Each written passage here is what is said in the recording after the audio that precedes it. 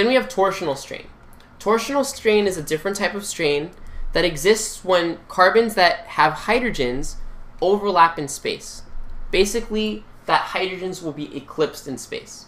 So let me give you another example of a cyclobutane here. This is just the square, but now we're looking at it in a 3D version.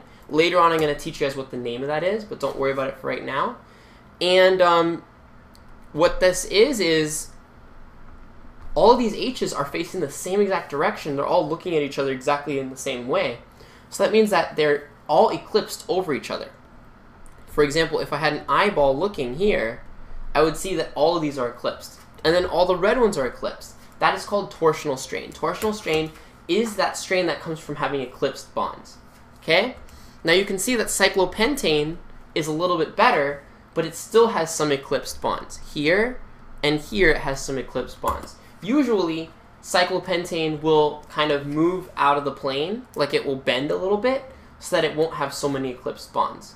Okay?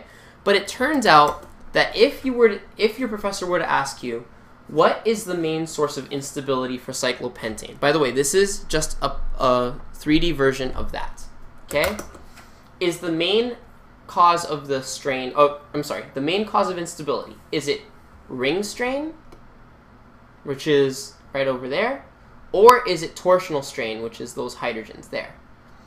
And the answer is that it's actually torsional strain.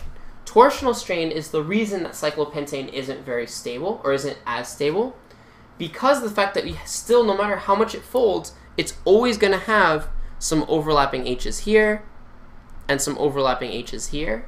And that means that they're going to be with an eclipse, they're going to have an eclipse conformation, and they're going to be kind of running into each other and bumping into each other, and that's not very good.